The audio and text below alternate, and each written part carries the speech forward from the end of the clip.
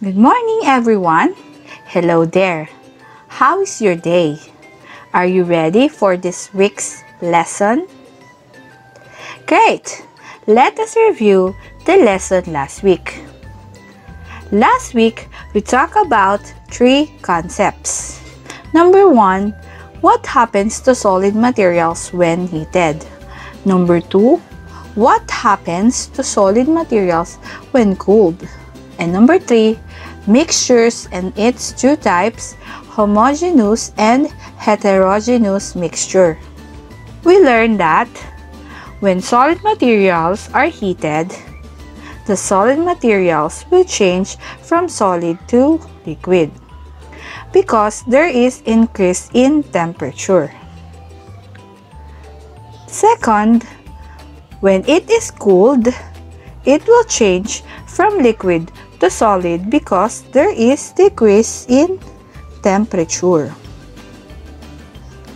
Lastly, there are two types of mixture, homogeneous mixture and heterogeneous mixture.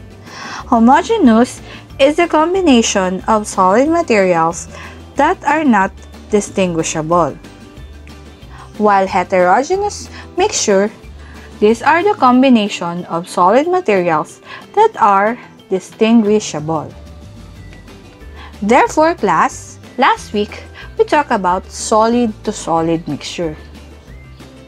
Today, we will talk about three things.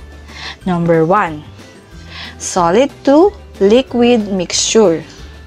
Number two, liquid to liquid mixture.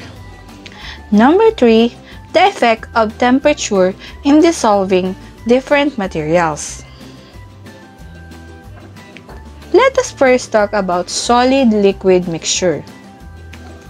Solid-liquid mixture is a combination of solid and liquid materials. Solid materials like powdered detergent, coffee, powdered milk, and powdered juice dissolve in water. When these materials are mixed with liquids, you can see that they stay within liquid because of the color of the mixture. The sand remains the same when mixed with water. Other materials do not dissolve in liquid like chili, malunggay leaves, and onion. So meaning class, not all solid materials dissolve in liquid. Second, liquid to liquid mixture. What is liquid to liquid mixture? It is a mixture of two liquids. Some of these will completely mix when combined. Example is alcohol and water. When you mix alcohol with water, it will mix completely and you cannot distinguish the two. Next, some of these will form layers like cooking oil and soy sauce. So if you mix cooking oil and soy sauce, they form two layers and do not mix completely. And the third one is the effect of temperature in dissolving different materials. What will happen to coffee when we put it in hot water and cold water? As you can see class, or if you do this at home, if we put coffee in hot water and if we put coffee in cold water, we can say that coffee dissolves quickly in hot water than in cold water.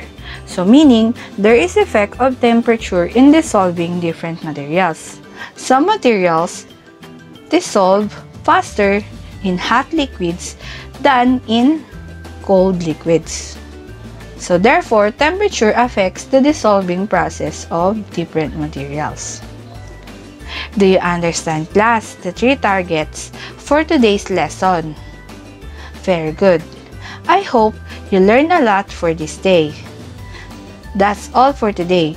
See you next week for more exciting facts and learnings about science. Bye!